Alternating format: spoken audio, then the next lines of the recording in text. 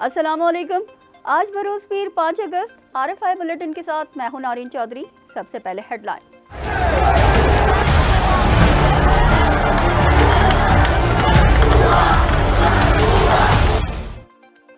बांग्लादेश के army chief ने वज़ीर अजम शेख हसीना वाजिद के इस्तीफे की तस्दीक कर दी। शेख हसीना वाजिद हेलीकॉप्टर से हिंदुस्तान रवाना। आर्मी चीफ का अबूरी हुकूमत कायम करने का ऐलान। अवाम पुरअमन रहे। उनके तमाम मुतालबात तस्लीम किए जाएँगे। चाहते हैं? क्या चाहते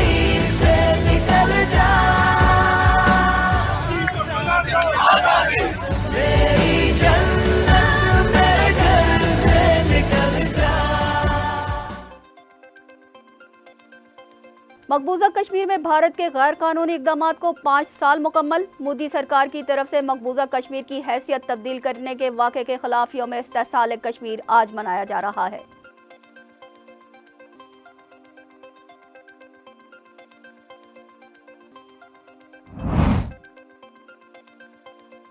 हुर्रियत रहनुमाओं की अपील पर वादी में आज यौम स्याह। भारत की मोदी सरकार ने 5 अगस्त 2019 को कश्मीरियों से उनके रहे सहे हकूक भी छीन लिए थे। भारतीय आइन से आर्टिकल 370 खत्म करके मकबूजा कश्मीर के तीन टुकड़े कर दिए गए थे।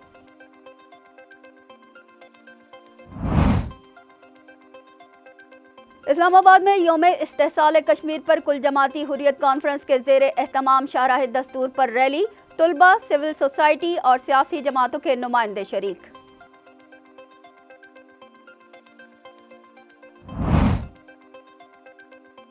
भारत ने मकबूजा कश्मीर की हैसियत कमज़ोर करने के लिए गैर कानूनी इकदाम किए। भारत की दाखिली कानून साजी कश्मीरियों की जिद्दोजहद को दबा नहीं सकती। सदर जरदारी और वज़ीर अजम शहबाज शरीफ का योम इस्तेसाल कश्मीर पर खसूसी पैगाम। मुसल्लाफाज कश्मीरियों की सियासी और इखलाकी हिमायत जारी रखेगी। Chairman joint chief of staff committee, services chief और मुसल्लाफाज का पैगाम।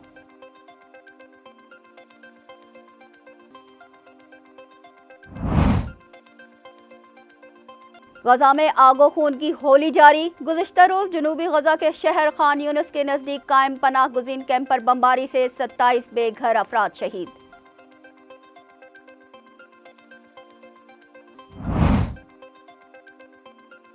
पेरिस ओलंपिक्स के लिए जाने वाले सात में से छह पाकिस्तानी खिलाड़ियों का सफ़र तमाम। पाकिस्तान के लिए मेडल की पहली और आखिरी उम्मीद अरशद नदीम कल एक्शन में नज़र आएँगे।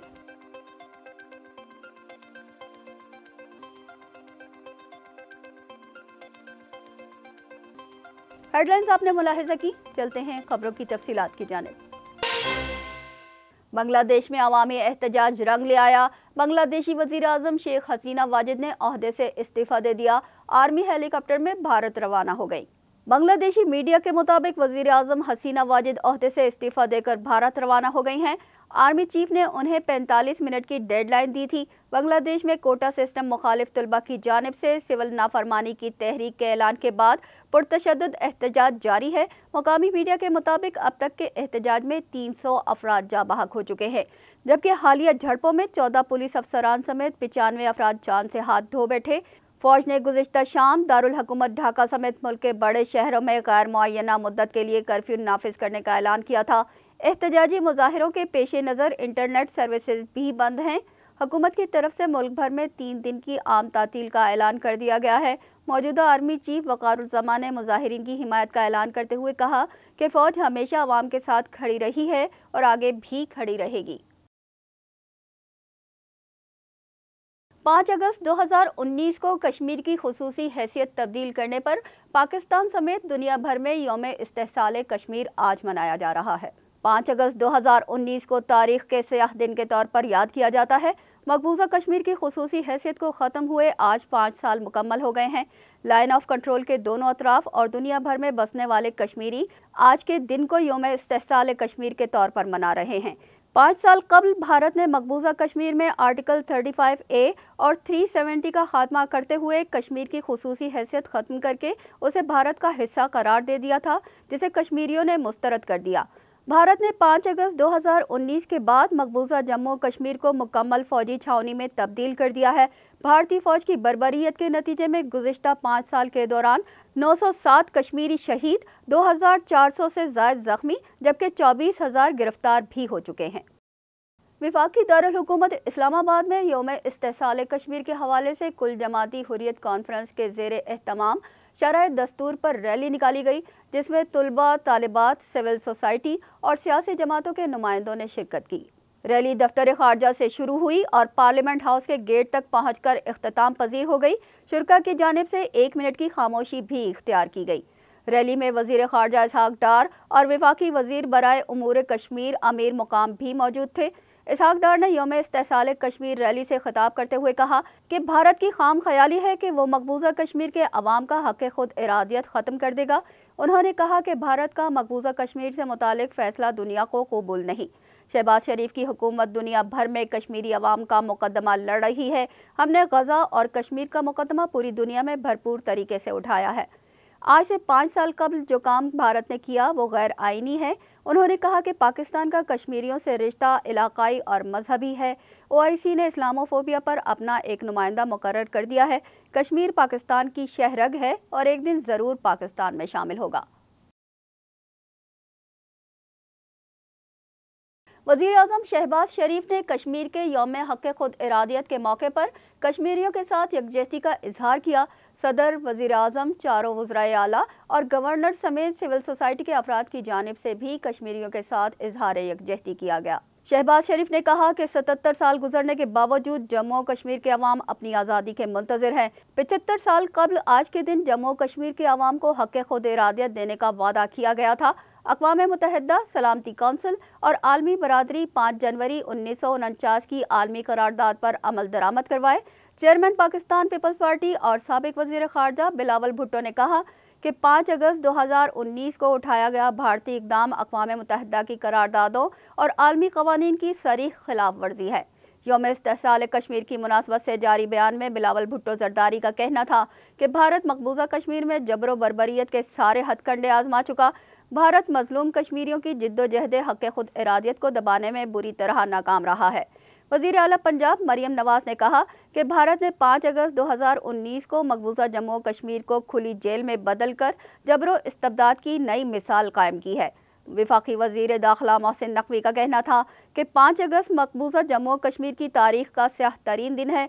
भारत ने 5 अगस्त 2019 को गैर कानूनी और एक तरफा इकदाम करके कश्मीर की हैसियत को तब्दील किया, जिसकी सख्त अल्फाज में मजम्मत करते हैं।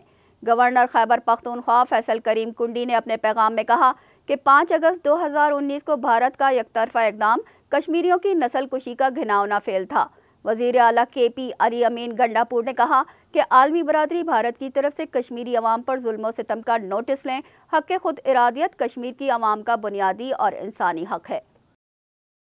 योम इस्तेसाल कश्मीर के मौके पर मुसल्ला अफवाज ने मकबूजा कश्मीर के बाहिम्मत अवाम से यकजहती का इजहार किया।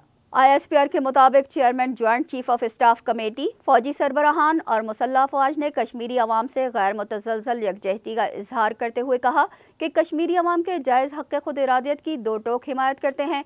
आईएसपीआर के मुताबिक भारतीय फोर्सेज की इंसानी हकूक़ की खिलाफ वर्जियाँ और फौजी मुहासरे काबिल मजम्मत हैं। मकबूजा इलाके में आबादियाती साख्त में गैर कानूनी तब्दीली और इंसानी हकूक़ की मुसलसल खिलाफ वर्जियों की भी मजम्मत करते हैं।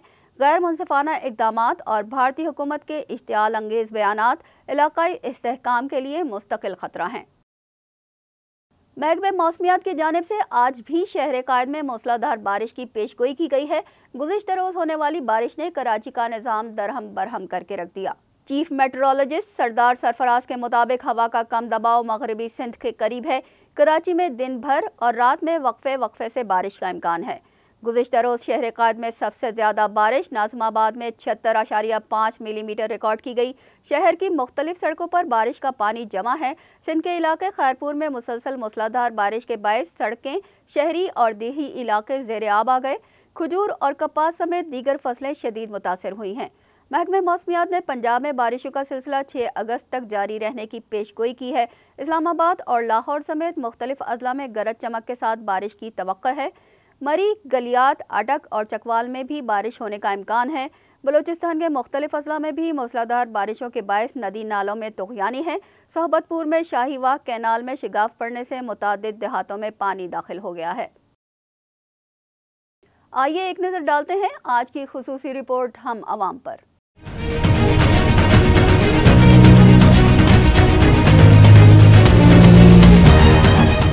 इस मरतबा अठारह हज़ार आठ सौ सत्तासी अरब रुपए के विफाकी बजट का बोझ आवाम पर डाला गया है।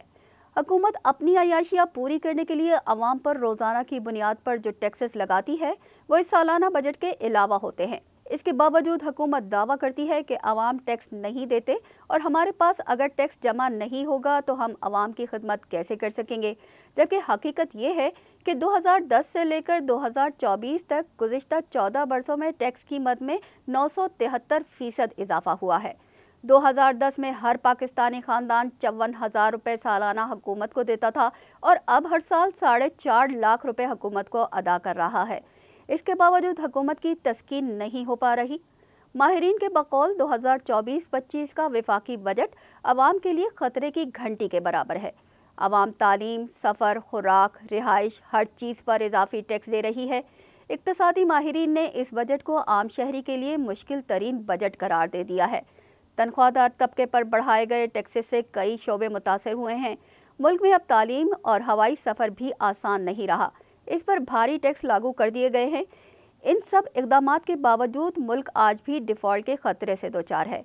और अगर खुदा न खास्ता हम डिफ़ॉल्ट कर गए तो हम दुनिया की पहली डिफ़ॉल्टेड न्यूक्लियर पावर होंगे और उसके बाद हमें बम देकर आटा लेना पड़ेगा। लेकिन इन हालात में भी हुकूमत ने अपने अखराज में 24 फ़ीसद इजाफा कर दिया है।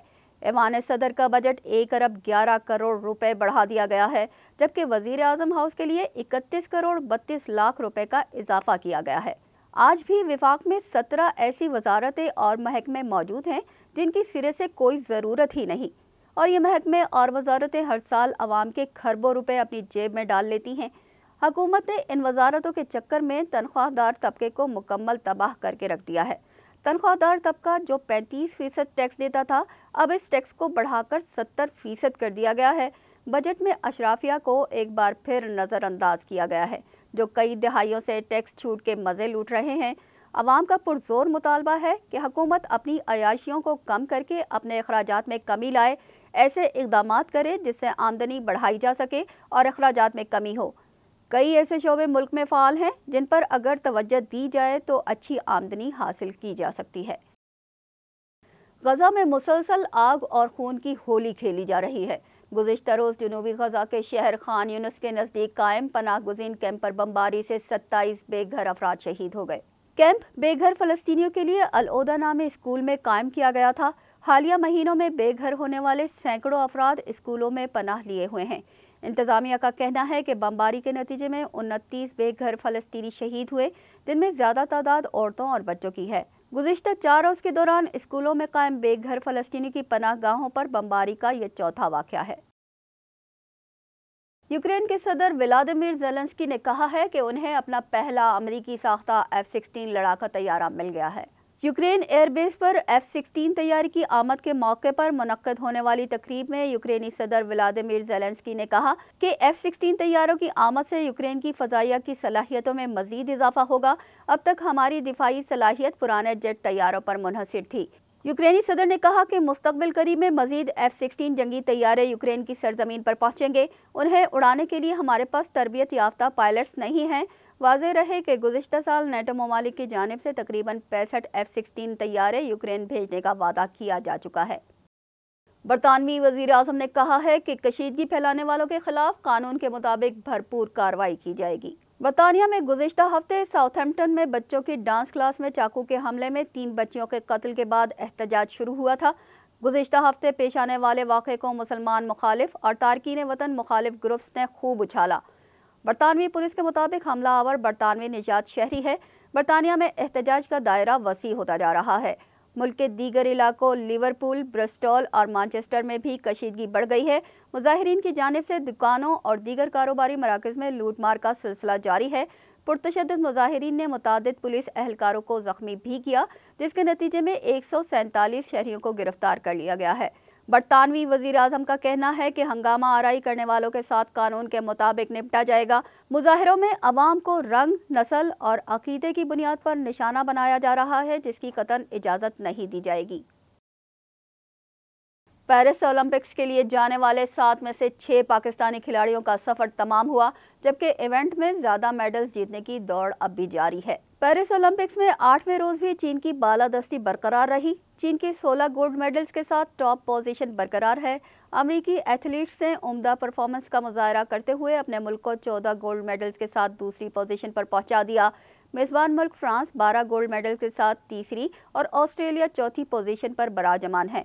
बरतानिया 10 गोल्ड मेडल के साथ पांचवी पोजीशन पर मौजूद है, जबकि पाकिस्तान का एक और एथलीट अपने इवेंट के पहले ही राउंड में बाहर हो गया। 25 मीटर रैपिड पिस्टल के मुकाबलों में शरीक गुलाम मुस्तफ़ा बशीर क्वालिफाई राउंड में टॉप सिक्स में जगह न बना सके। पेरिस ओलंपिक्स के लिए पाकिस्तान से जाने वाले सात में से छह खिलाड़ी टूर्नामेंट से बाहर हो गए हैं। पाकिस्तान के लिए मेडल की पहली और आखिरी उम्मीद अरशद नदीम है, जो जेवलिन थ्रो के मुकाबले में कल एक्शन में नज़र आएँगे। इसके साथ ही न्यूज़ बुलेटिन अपने अख्ताम को पहुँचा। हमें दीजिए इजाज़त। अल्लाह ने के बाद।